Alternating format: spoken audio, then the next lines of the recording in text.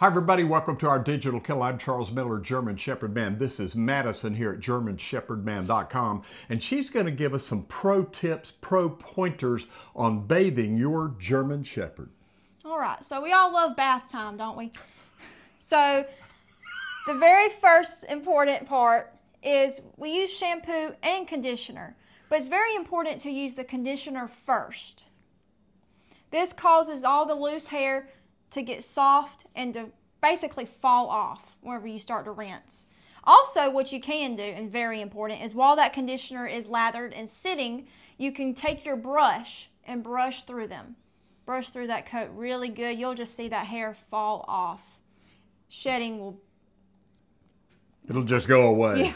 I mean, the hair comes off, and I mean, that's why she does the the conditioner first. Now, It's after the- amazing how much hair comes off. amazing if you do it this way. Now, after the conditioner, of course, You rinse.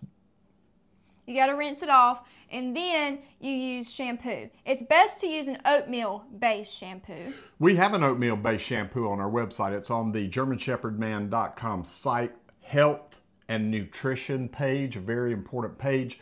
There, you'll find the vitamins and joint supplements that we've been using since 1999. Very important for this breed. But if you scroll down a little bit, you'll see the oatmeal based shampoo that you can also order in the same order from the same company. Now, this is very important.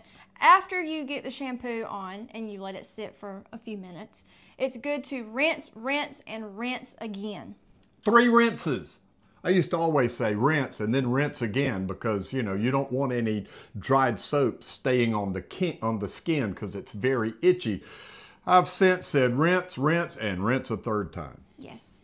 And also, while you're in the bath, you could go ahead and clean their ears. But speaking of ears, do not get any water inside of their ears. Very important, but it may happen, and if it does, you can take things like a paper towel, a little washcloth, dry washcloth, and just go in their ears and dry it up. But cotton balls work pretty good too. So anything like this, have it handy so that if you do get water down in their ears, there you go. You can dry it out like that. Plus, speaking of drying, look what we have. This is our dryer that we use. And think of a, a heavy duty dog hair dryer. This thing blows, wow, with some force.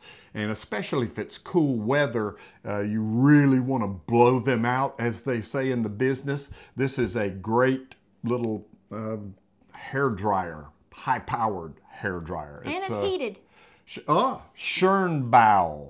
S H E R N B A O. Probably not pronouncing that right, but it is outstanding. Just quality all the way through. And it is else? good to note that this is something you want to get your puppy used to immediately. Wow, that's so smart. Yeah, you, you you're gonna want to bathe puppies because they things happen, especially accidents happen, and uh, you you want to learn how to bathe your puppy, kind of the same routine as this, but it is important to get them used to this.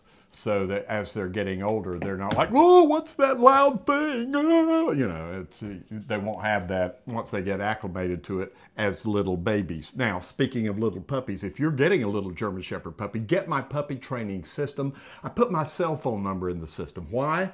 Because I wanted you to have access to me. I wanted you, if you need to call me seven days a week, you can call my cell. If I miss you, I'll call you back. Just got a call this morning from where was he? Colorado. He was asking me questions. It was Arizona, asking me questions. Helped him out. He's just great now. But use that cell phone number that is in the course and my free ebook, German Shepherd Nutrition, free download. That's in the course. And every course sold, a portion of that goes to no kill German Shepherd rescues around the country. We've donated thousands of dollars to these rescue shelters. Thank you in advance. From all of us, GermanShepherdMan.com.